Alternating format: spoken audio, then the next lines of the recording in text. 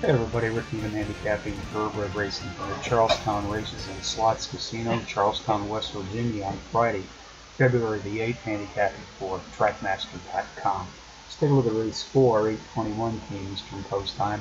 Four and a half furlong long sprint on the dirt. Fillies in there is four years old and up. Rates an allowance prize of $24,500. Contenders number 5, Miss Blue Dot, number 1, Rocket Bid, number 7, Natty Ice, and number 8, Flowers Valley.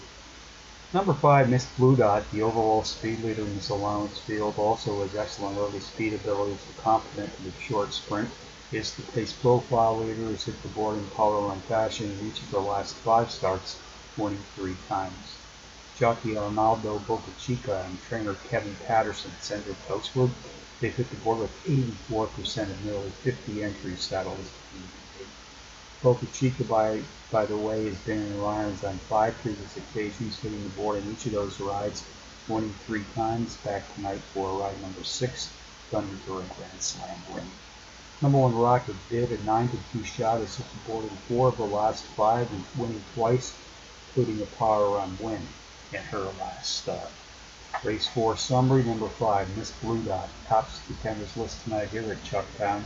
She also includes number 1 Rocket Bid, number 7 Natty Ice, and number 8 Flowers Valley. 5 1 7 8 in the fourth from Charles Town. A couple across the board long shots we have pondered on Friday, back of the fairgrounds, race 6. Main placing showing a 15 to 1 bomb, number 10 Tap It Wicked. Fairgrounds race 8. Win placing showing a 6 to 1 shot, for 1 Rahway. Sam Houston Race Park, race 4. Win placing showing a 4 to 1 shot, number 4 Cape Lucas. So handicapping from Charles Town on a Friday night with me at TheTrackMaster.com, reminding you as always, please stay with your head, not over.